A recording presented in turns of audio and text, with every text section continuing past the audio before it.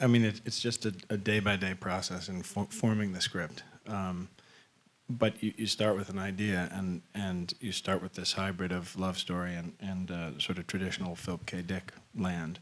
You look at all the other uh, adaptations of Philip K. Dick that are out there, and they have a uh, very dark, dystopic tone, which is the Philip K. Dick tone. So um, I, I think I felt like I, I'm not going to do better than, you know, Blade Runner. Um, so why don't I try something different? And um, I think the humor just emerges because you, you think about how absurd it must seem from, from David's point of view to be dealing with these people. And I'm sure there are Philip K. Dick purists, maybe some of you in the audience, who uh, uh, are not happy with that with that choice. But um, but you know that's the movie we, we set out to make, and uh, you know. To the credit of the estate of Philip K. Dick, which you can speak to more than me, they they, they were very uh, supportive of feeling that their their father's work was uh, big enough to be interpreted in a lot of different ways. I, I can say one thing creatively about why I was looking for a, a dancer, aside from just wanting the movie to have a realistic feel wherever possible in, in every aspect the politics, the dance, the shooting style. Um, but uh, I also thought you're sort of viewing the movie from Matt's point of view, and he's a he's a famous person in the movie, and he's a famous person in real life, and he's meeting this total unknown, you know, constituent. Well, not really his constituent because she's foreign. So it, would it was sort of more interesting, I thought, um, to have the person be a totally unknown face. Um, but Emily's not as well known in this country as she is in, in Britain, so it, it probably played that way to some extent anyway.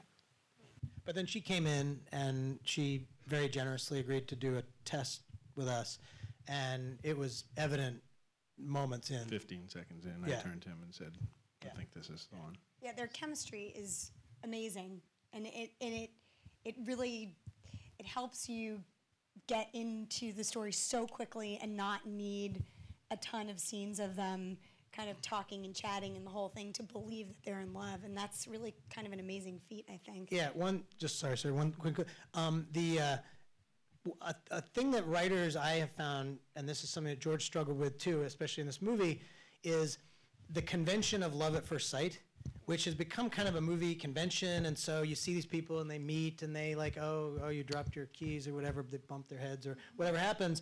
Um, and we are trained to kind of say, oh, well, we're supposed to believe they're the They're really ones- good looking. yeah, they're good looking. They're the actors. They're the stars. So they're the ones we're supposed to be. And it's just a very different. I believe, in one man's opinion, it's a very different quality to believe that they're supposed to be together because you're told they're supposed to be. So you're like, okay, note to self, these guys are going to get together in the movie. And it's just a very different set of muscles than, oh my God, I really want these people to get together. I care. I care. And to do that in a very few scenes is a real testament to the writing. And that's, that, that first scene is a real thing that he, he had struggled over to kind of take the, the pressure off of that love at first sight curse.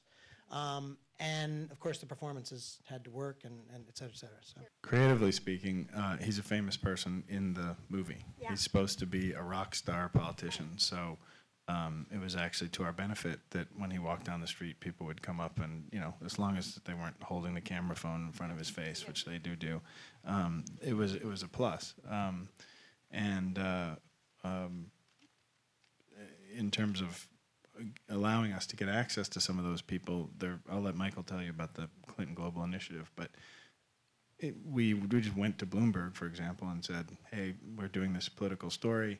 Here are the pages that you'd be in, even though you're going to ad lib it, but it's going to be something like this. Um, and nobody turned us down. So uh, I think they thought the movie was not going to hurt them politically. Um, and uh, and Matt's involvement, um, you know, was probably a little ego trip. He's playing a politician or something like that. um, you know, on Bourne, uh, from what I understand, you know, when he runs through like Waterloo Station, for example, you can only they can only shoot him for a few. Se- part of the, I mean, part of that's Paul's very Paul Greengrass's very cutty style, but part of it is you can only shoot Matt running for a couple of seconds before somebody picks up a camera phone, and nobody's going to do that to Jason Bourne because he's you know undercover or whatever. Um, for this film, it was exactly the opposite. You know, we marched from downtown. So doing the junket, um, you know, doing his own press, we were able to kind of piggyback on that. And one of the items that George mentioned was, you know, President Clinton was doing his Clinton Global Initiative in town while we were there, and we reached out to them and kind of said, hey, can Matt come to this? Well, he was he was uh, getting recognition for his water work anyway. Right.